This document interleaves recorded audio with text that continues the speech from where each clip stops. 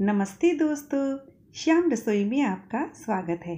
Friends, आज हम बनाएँगे कस्टर्ड आइसक्रीम।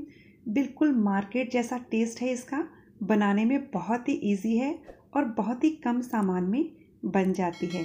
तो आइए बनाना शुरू करते हैं कस्टर्ड आइसक्रीम। इसके लिए सबसे पहले हम एक बाउल में दो टेबल स्पून कस्टर्ड पाउडर लेंगे। ये मैंने वेनिला फ्लेवर वाला कस्टर्ड पाउडर लिया है।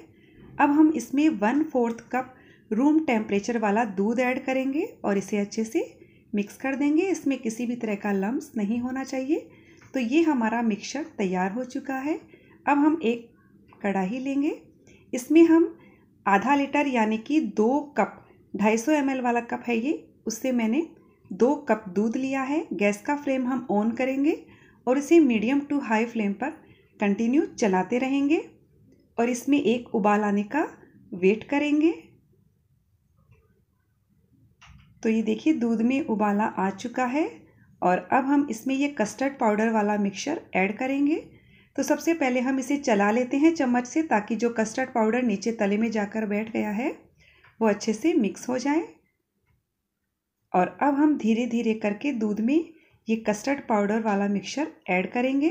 गैस का फ्लेम मीडियम कर दीजिए और इसे कंटिन्यू चलाते रहना है, इसमें लम्स नहीं होना चाहिए। ये देखिए ये धीरे धीरे थिक होता जाएगा। तो हमने पूरा कस्टर्ड पाउडर ऐड कर दिया है और कस्टर्ड पाउडर दूध के साथ अच्छे से मिक्स हो चुका है। तो अब हम इसमें चीनी ऐड करेंगे। यहाँ मैंने आधा कप चीनी ली है, यानी कि 120 ग्राम चीनी का यूज़ किया है। अब हम चीनी के मिलने तक इसे कंटिन्यू चला लेंगे। तो ये लीजिए फ्रेंड हमारा मिक्सचर तैयार हो चुका है। अब हम गैस का फ्लेम बंद कर देंगे। और इसे रूम टेम्परेचर पर आने का वेट करेंगे। तो ये रूम टेम्परेचर पर आ गया है और मैंने इसे एक बाउल में निकाल लिया है। अब हम इसे ढककर फ्रीज़र में रख देंगे। केवल डेढ़ दो घंटे के लिए। हमें इसे जमाना नहीं है, केवल चील्ड करना है। अब हम एक बाउल लेंगे। उसमें एक कप विपिंग क्रीम लेंगे। विपिंग क्रीम से ये आइसक्रीम बहुत ही अच्छी बनती है। बिल्कुल भी आइस क्रिस्टल नहीं आते हैं। तो सबसे पहले मैं इसे लो स्पीड पर अच्छे से विप कर लूँगी। आप चाहे तो इसके लिए मिक्सर या हैंड ब्लेंडर का भी यूज़ कर सकते हैं, लेकिन उससे टाइम ज़्यादा लगेगा। हम धीरे धीरे इसकी स्पीड बढ़ाएँगे और स्टिफ पीक आने तक हमें इसे बीट कर लेना है। ये देखिए, ये परफेक्टली बीट हो चुकी है।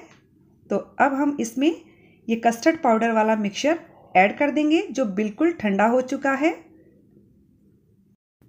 और इस मिक्सचर को अच्छे से क्रीम के साथ मिक्स कर देंगे।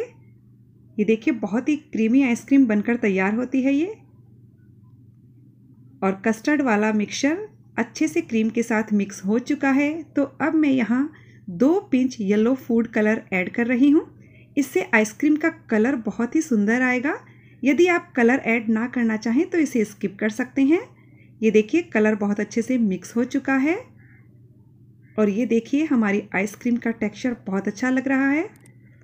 तो अब ये बिल्कुल तैयार है। अब हम इस पर फॉयल पेपर लगा देते हैं और इसे हम तीन, साढ़े तीन घंटे के लिए डीप फ्रीज़र में सेट होने के लिए रखेंगे। उसके बाद इसे वापस बीट करना है।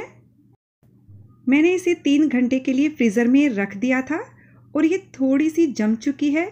तो हम इसे दोबारा बीट करेंगे। ये देखिए इस वाली आइसक्रीम में बिल्कुल भी आइस क्रिस्टल नहीं आएँगे। इसके लिए आप विपिंग क्रीम का ही यूज़ कीजिएगा। ये देखिए, हम इसे दो तीन मिनट के लिए और विप करेंगे। तो फ्रेंड्स, ये देखिए, हमारी आइसक्रीम अच्छे से विप हो चुकी है। आप चाहें तो इस टाइम इसमें काजू पिस्ता वगैरह मिला सकते हैं, मैं अभी नहीं मिला रही हूँ। तो बस, अब हम इसे एक एयर टाइट कंटेनर में ट्रांसफ़र कर देंगे। आप यदि इसमें चाहें तो टूटी फ्रूटी भी ऐड कर सकते हैं, बहुत ही अच्छी लगती है। तो ये मैंने सारे आइसक्रीम का मिक्सचर इस कंटेनर में डाल दिया है और इसे अच्छे से स्प्रेड कर देंगे और इस पर मैं ये फॉयल पेपर वापस लगा रही हूँ। और अब हम इस पर ये लिड लगा देंगे और अब हम आइसक्रीम को आठ से नौ घंटे के लिए फ्रीज़र में सेट होने के लिए रख देंगे।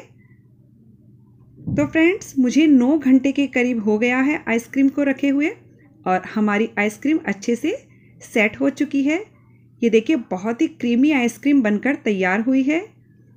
तो अब हम इसे सर्व कर देते हैं। फ्रेंड्स बहुत ही बढ़िया आइसक्रीम बनकर तैयार हुई है।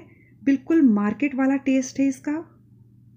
तो ये देखिए, हमने इसे सर्व कर दिया है और अब हम इसे पिस्ता, बादाम इनसे डेकोरेट कर देंगे। ये मेरे पास कुछ बारीक कटे हुए पिस्ताज हैं और साथ ही मैं यहाँ बादाम लगा देती हूँ और मेरे पास ये रेड वाली टूटी फ्रूटी है।